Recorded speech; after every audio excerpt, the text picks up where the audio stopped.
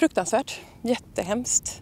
Det är en familjemedlem och eh, det kan inte beskriva med ett ord hur, hur det var egentligen. Det, visst, nu har det gått nästan ett år sedan det hände men eh, det ältar ju sig fast.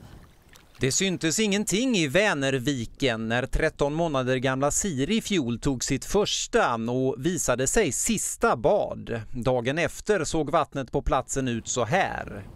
Algblomning är vanligast på högsommaren och ökar i takt med klimatförändringarna och kan i vissa fall förgifta vattnet och göra det skadligt för oss människor men dödligt för djur.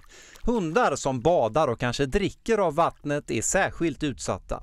Vi har vårdat fler de, de senaste åren än vad vi gjorde till exempel för 20 år sedan. Ja, absolut. Vi har även haft flera fall med dödlig utgång. Där eh, till och med varit så att man inte alls har sett någon missfärgning av vattnet den dagen när djuren har blivit förgiftade. Men hundarna blir snabbt väldigt sjuka om de får i sig stor mängd då. Någon säker statistik över antalet algförgiftade hundar finns inte, men enligt försäkringsbolaget Agria ersätter de årligen ett tiotal behandlingar för akuta misstänkta fall.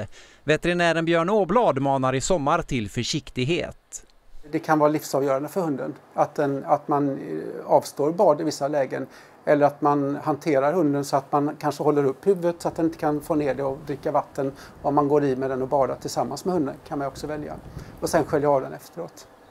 Jätteviktigt, speciellt som hundägare och även som småbarnsförälder, att man inte släpper lös eh, hur som helst. Sen tycker jag inte man ska vara orolig på så vis heller, men bara ha ett extra öga.